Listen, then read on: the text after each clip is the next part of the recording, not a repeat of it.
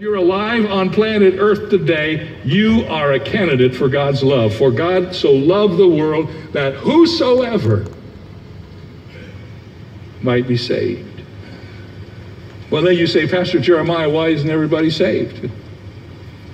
Why isn't everybody a Christian? Why doesn't everybody have a free pass to heaven?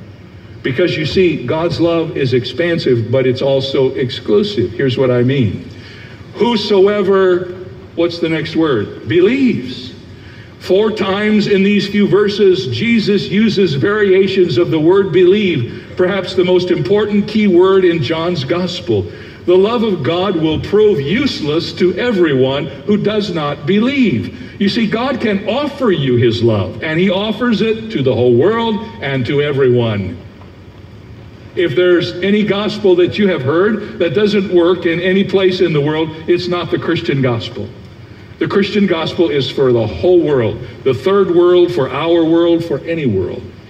But listen, just because God offers you his love doesn't mean that you get his love. Because in order to get his love, you have to receive it. You have to reach out your hands and take it. If I said, I have tickets to the Padres game.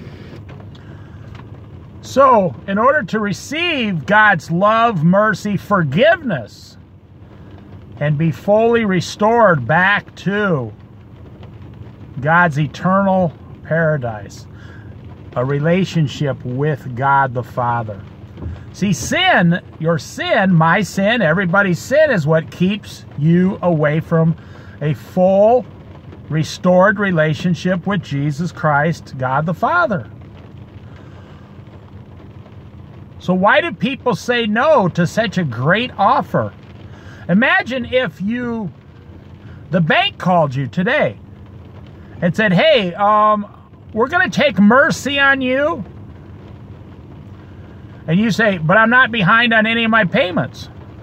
That's okay. We're still going to cancel all your debt forever. You'd say, ah. Uh, but I'm making my payments on time. I'm, I'm, I'm living a pretty good life. I'm doing okay. My credit report is 810. The bank says, well, you owe 300,000 on your, or 200,000 on your house still. You got some credit card debt. We're going to cancel all your debts, your financial debts, as long as you live. Do you think someone would say no to that offer? There are people that would say no. Astonishing. You know, Amish people, they would say no because they don't take free money, they don't take government money, they only take the money they worked for. Yeah, even if the government sends them a stimulus check, they most of them donate it to um, their local church. But think of the offer. Think about what that minister said.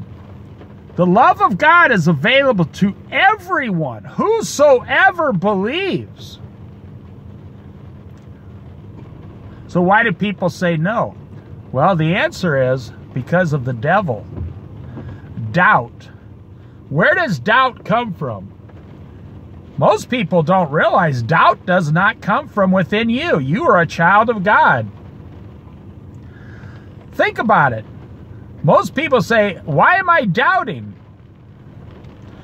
Because in my experience, you are not doubting. The doubt is coming from an outside source. The sin is coming from an outside source, and then what you do is you embrace that sin. You embrace that doubt. You embrace those pleasures into your life. You say, Yeah, that sounds pretty good. I think I'm going to go down that ro road, the wide road to destruction. But let's finish this up with God's offer. Look what God's offering you. Look at what the bank was offering in my, you know, silly worldly example. No matter how much money you spend, the bank's going to cover it the rest of your life.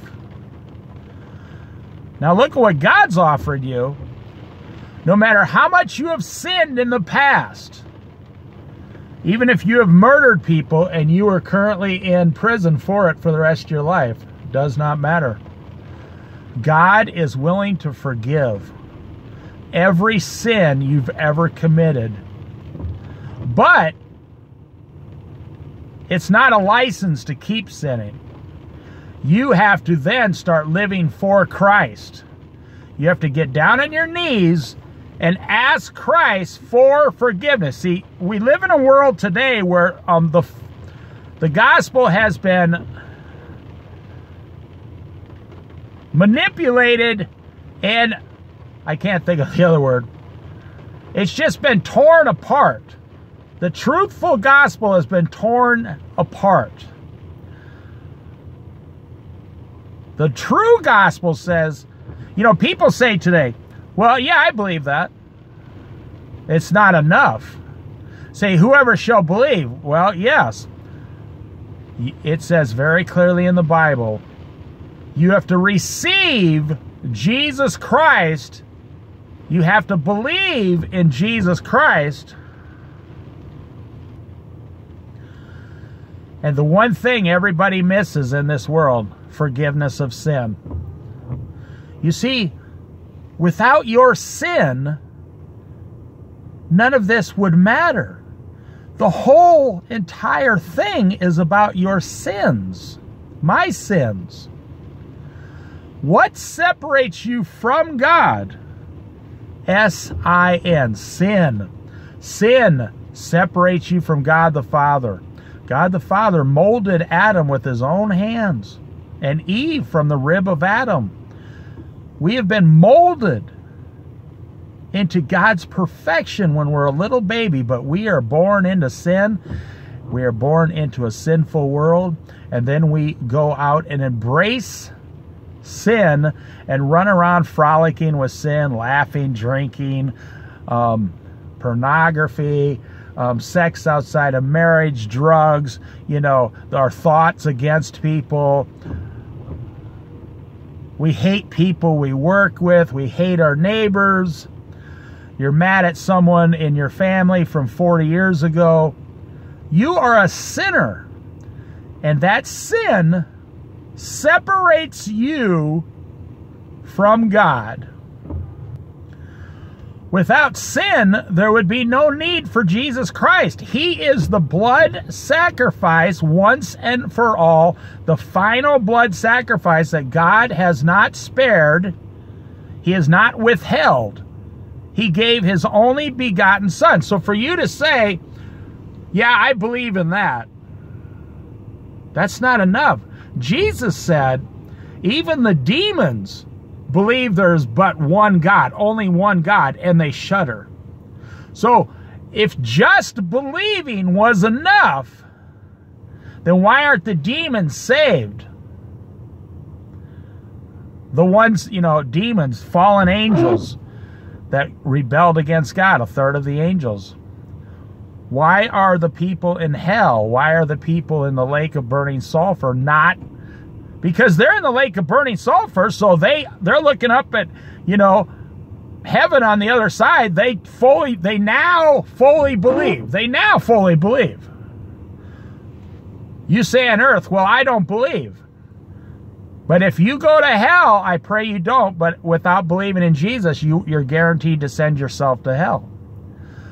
So in hell, every single person believes 100% in Jesus Christ and the message of the gospel.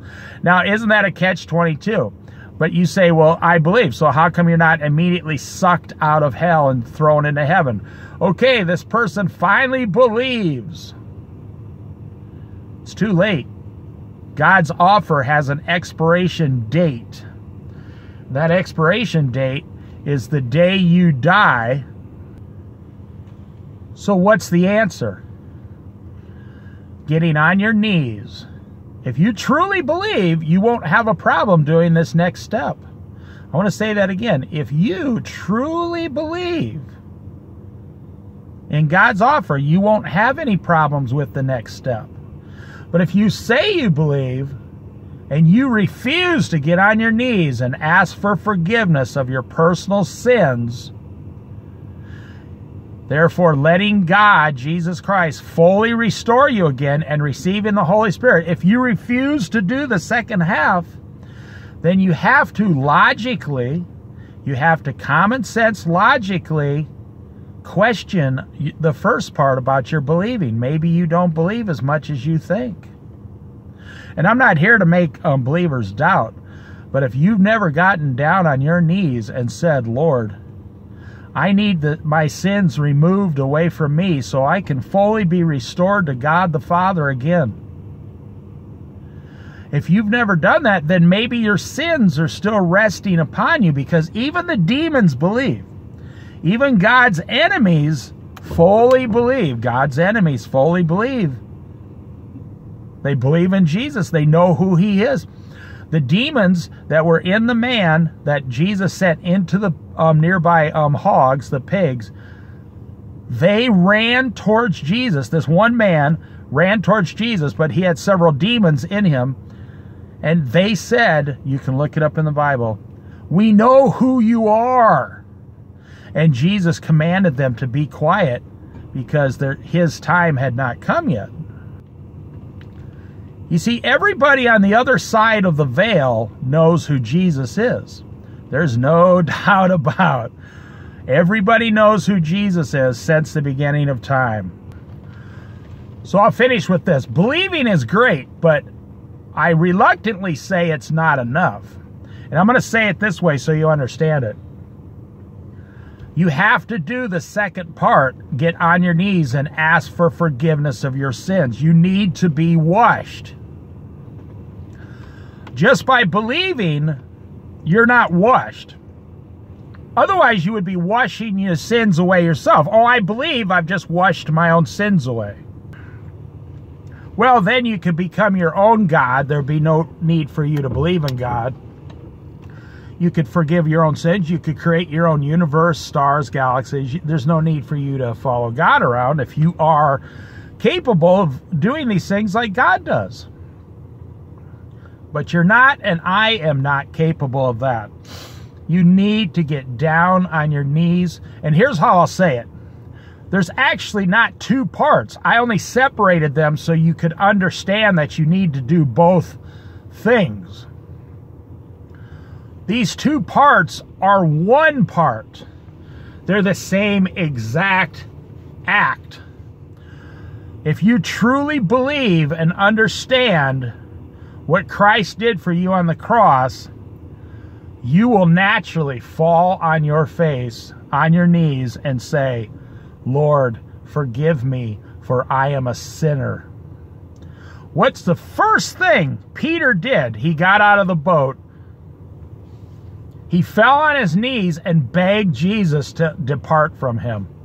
He said, I am not worthy. Depart from me. I'm not worthy, Lord. I'm a sinful man. You are a holy man. Jesus said, Come, follow me.